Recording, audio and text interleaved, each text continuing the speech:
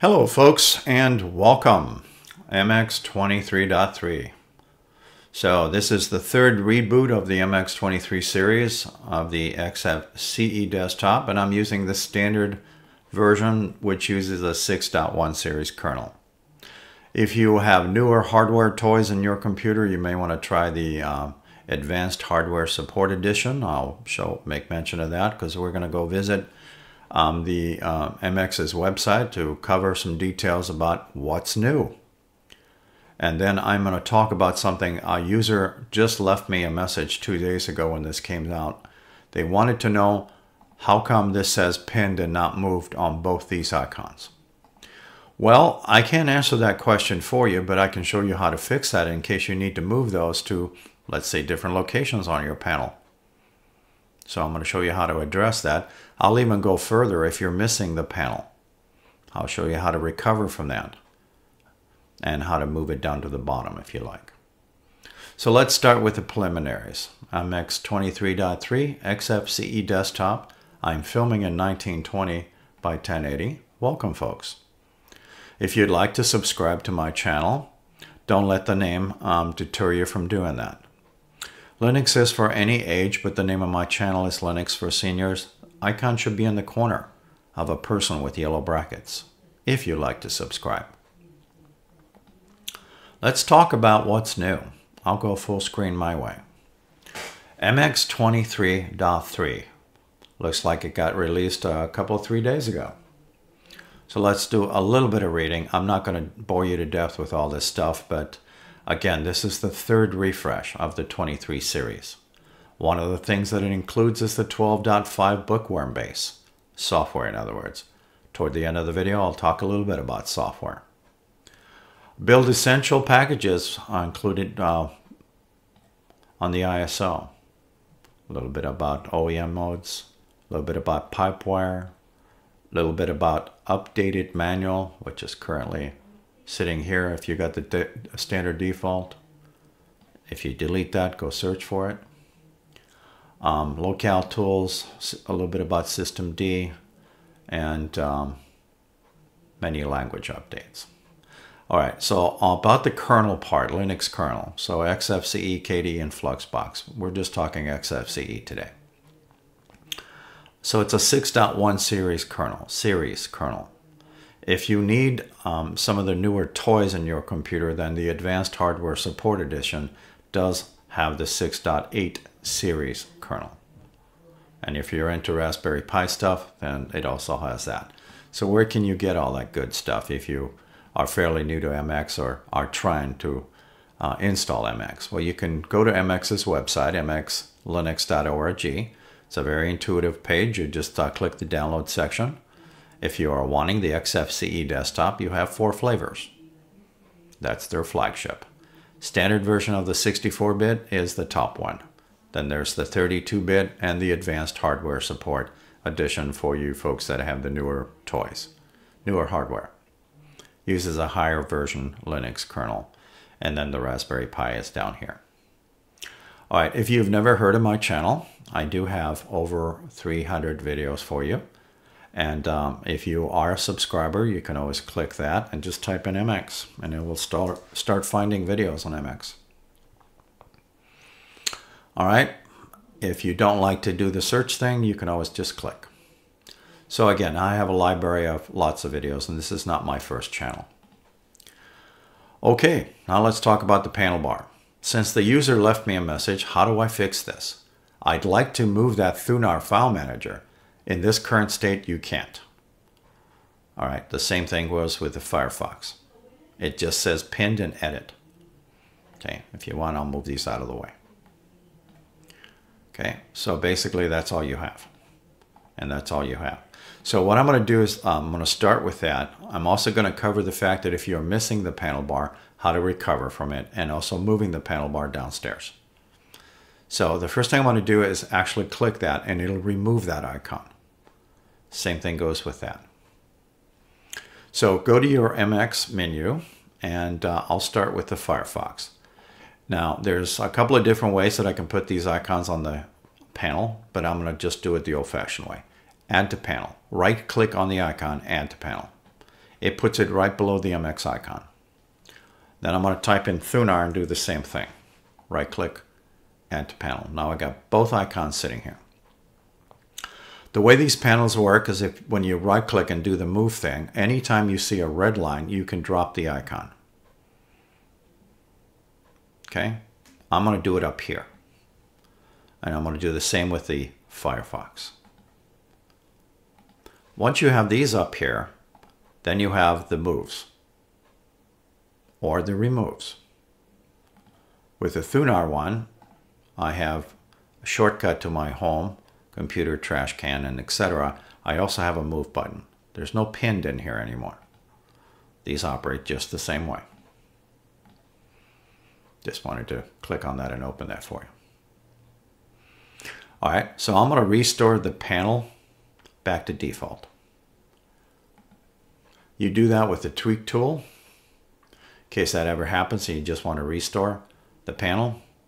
Whatever you do, I would suggest not closing this box though, but I'm going to show you if you make that mistake, what's going to happen. Panel bar goes away. So let's say you closed all that by mistake. A lot of people will panic. Maybe some will reinstall the system. Don't do that. However, um, some people will say, hey, I got a start button or a Windows button on my keyboard. Maybe I can use that to open the panel. Let's try it. Ooh, got a failed send dbus message. Not a good thing.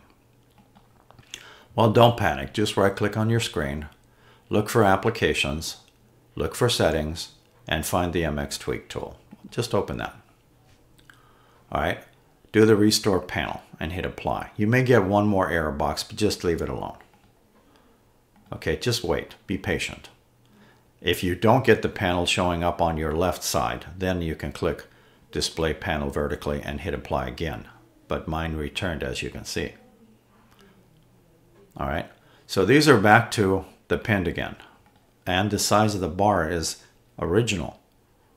I enlarged it for you on the video part earlier. But now let's talk about moving this downstairs. You can also move the existing vertical panel on the right hand side. Okay, now it's over here. All right, so the MX menu would be on this side.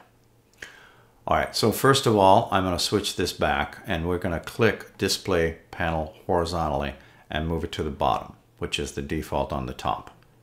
Now the panel is downstairs and it has lots of room currently, but it is small. You can also select the top. MX has very nice tools when it comes to this. All right, so I'm going to leave it just like in this orientation. And I'm going to make this bar a little bit larger icon-wise. So I'm going to right-click anywhere in here, hit Panel, Preferences, and crank this number up a little bit. You can do a screenshot if you feel more comfortable. Okay, I'm going to leave it roughly in this size. All right, so uh, if you are going to be playing with this, just keep in mind that's probably not a good idea. You can't squeeze too many icons in there. You could. I, I also don't recommend turning that off. So I'm going to use the full size. All right, we still have the same problem though. Pin to dock. We don't have a move. So if I wanted that over here, or if I wanted this over here, same thing with Firefox. I just have two items, pin to dock. So let's get rid of those. All right, there are two ways you can place these icons in this position here. Again, the most common way is to right click, add to panel, puts it in the corner. This time on this panel, it puts it here on the right hand side. Again, this video is designed for new users. That's why I'm rehashing this. And then you can hit move and wherever a red line appears. Okay. I can even go over here if I wanted to, if I find that red line. Now I'm going to remove this icon. This may be a little bit harder for some folks, but I'm going to give you another option of doing this. So grab the Firefox icon, click and hold it with your computer mouse, and then kind of bounce it around until you get a red line. If you don't find a red line, um, you can move it to the other side. You can see those red lines appearing if you look real close. Filming in 1920 by 1080. Let go of it. Create launcher. Okay, Thunar. Do the same thing. Bounce it around until I find a red line. Create launcher. Again, not everybody's cup of tea. However, now I have a move and some other goodies. I don't have a pin anymore. Okay, I still have a move. So in case you decide to move your icon, you can do that rather easily. Okay.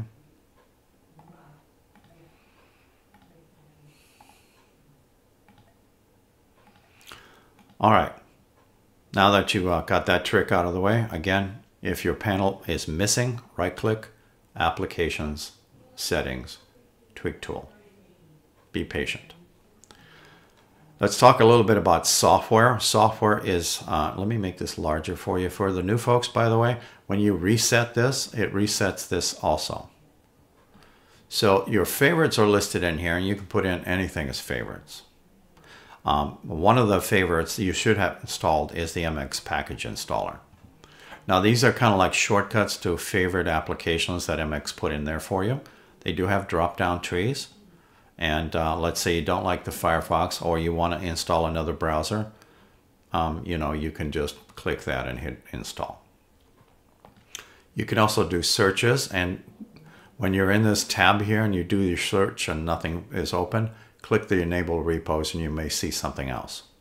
There's also Flatpak software in here. So this is MX Package Installer. That's not the only way to install software besides terminal in this machine. All right, so you can use terminal also. But you can also type in SY for Synaptic Package Manager, and it's going to give you a package count after you log in. Keep in mind, there is some updates been done here also. So Debian Bookworm 12.5. 65,000 plus packages are listed in here. I'm sure you can find a thing or two. And uh, you can do a search by description and name. My favorite usually is the name if, it, if I know the name of the package or application. You can also do quick filter. If you're wanting to just to click, what do these legends look like? Well, I don't know if you can see that. It's kind of grayish, whitish. It's not installed. So all of these are not installed. So if I wanted to install that first one for whatever reason, it uh, looks like a game, I can just click that, mark it for install. If it requires other goodies, then you just mark them. After that, you hit apply. So where's the software coming from? Well, let's talk about that. They're called repositories, or repos. Some people call those. If you want, I'll make this box larger for you.